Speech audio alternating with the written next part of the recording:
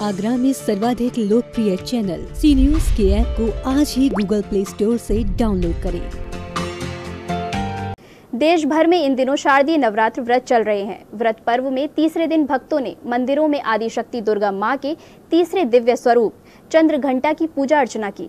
शनिवार से देश भर के साथ साथ ताजनगरी में शारदीय नवरात्र व्रत पर्व की शुरुआत हो गई। नवरात्रि में तीसरे दिन भक्तजनों ने देवी माँ मंदिरों में आदि शक्ति माता दुर्गा के तीसरे स्वरूप माँ चंद्रघंटा की पूजा अर्चना कर धर्म लाभ लिया। देखिए, ऐसा है, पहले दिन से शैलपुत्री देवी के, पहले दिन से ही कार्य चला है। आज चंद्रघंटा देवी का दिन है।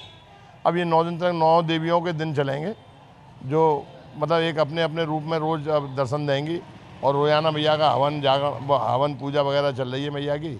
और 25 तारीख को मैया का एक विशाल श्रृंगार है और विशाल जागरण भी होगा। अन्नपूर्णा पार्टी सर्वेश जी हैं, अन्नपूर्णा पार्टी के सर्वेश शर्मा। अन्नपूर्णा पार्टी अन्नपूर्णा पार्टी द्वारा रात्रि भर मैया का जागरण किया जाएगा।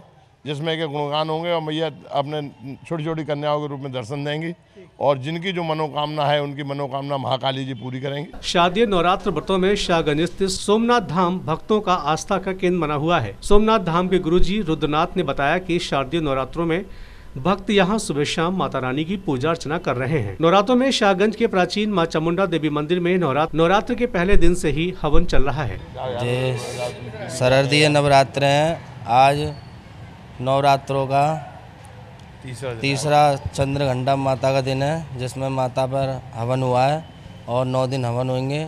नौमी को जागरण होगा भंडारा होगा। शाहगंज स्थित प्राचीन माता महाकाली मंदिर में 25 अक्टूबर को भव्य फूल बंगला सजाया जाएगा। वहीं रात्रि में माता रानी के चरणों में भव्य जगराते का आयोजन भी किया जाएगा। आज माँ भगवती के जो नवरात्रि आए हैं उसमें आज माँ चंद्र घंटा का तृतीय नव द्वितीय नवरात्रि है, तीसरा नवरात्रि चंद्र घंटा जी का है। और उसमें माँ सभी की मनोकामनाएँ पूर्ण करती हैं, उनके व्रत पालन करने से पूजा पाठ करने से, उनके नाम का उच्चारण करने से, उनकी सेवा करने से मनोकामना पूर्ण होती है, घर में खुशहाली आती है, सभी जो रोग होते हैं वो निरोगी बन जाते हैं। और इस श्री सोमनाथ धाम में, गुरु जी के सानिध्य में इस नवरात्रि के हम पूजा पाठ करते हैं, यहाँ पर पूर्ण स्थापना होती है।